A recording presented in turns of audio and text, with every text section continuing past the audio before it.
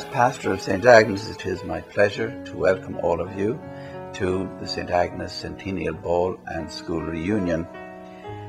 I'm sure many of us never expected to see this day, but it has finally come 100 years of celebration.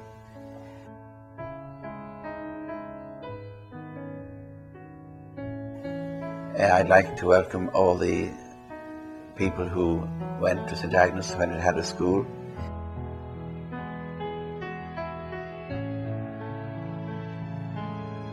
We are privileged to have here some of the sisters who worked here, who taught in the school, and had such an influence on so many of our parishioners, people who treasure their years here at our elementary school and have never forgotten that experience. So we welcome the sisters in a special way.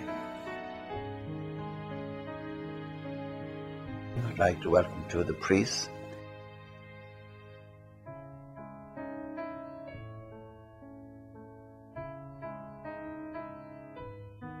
and uh, the people who live in this parish, especially the older parishioners who have seen this parish um, grow to what it is today. And also I'd like to welcome all those who come from afar, who have roots here, perhaps grew up here, were born here and baptized, made the first communion. Perhaps even got married here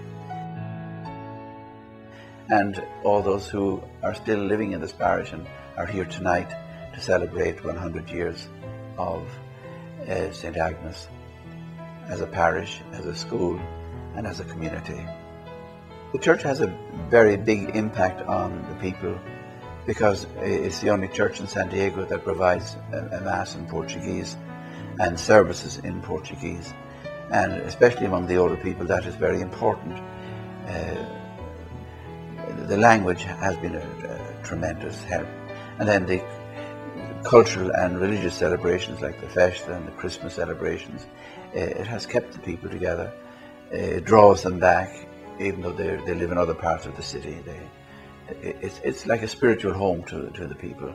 St. Agnes, it's, it's their church in a way. Hi, my name is Vilmira Gonzalez. I've been here in this parish since 1930. It's a long time. And I saw the church being built. And then in 1933, I got married in this church.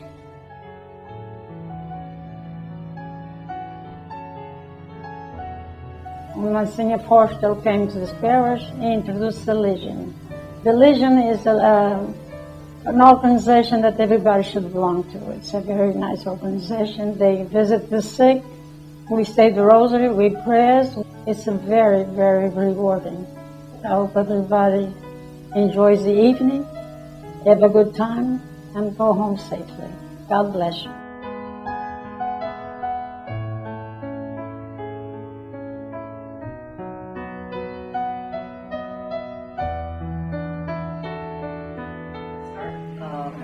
My fondest memories of uh, St. Agnes is, of course, when uh, we had the school. Uh, it was my second home. I was a fixture at the school. I uh, taught physical ed and I coached and I substitute uh, teaching at the time and uh, it was, uh, I loved it because I, I, volunteered and it kept me busy. But to this day, I meet people on the street and they remember those days. I still am uh, considered coach, and that I guess will stay with me the, for the rest of my life.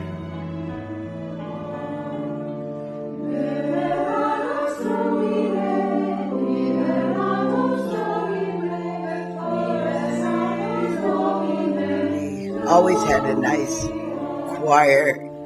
Then, of course, we we got our beautiful Portuguese choir too, and we're very fortunate to have two beautiful choirs like we do have.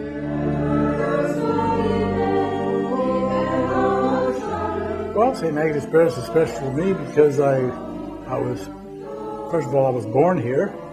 And this is the church that I've been going to uh, basically all my life.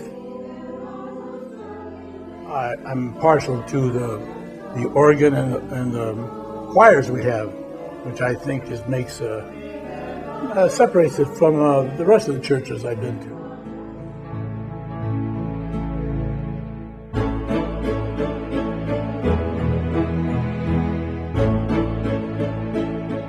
I was sent here by Bishop Leo T. Maher as a deacon in 1971. I have many memories and experiences that I continue to ponder in my mind as I hope you do. I hope my five years in Point Loma somehow helped in those hundred years to catch faith, to share faith, family, a sense with the Portuguese as well as the Anglo people and all others, to celebrate in festas, to be part of whatever was going on at the Church of St. Agnes. Something that I will always treasure is I won the heart of the Portuguese families in Point Loma. It's not easy uh, when you come from out of the language and out of the culture.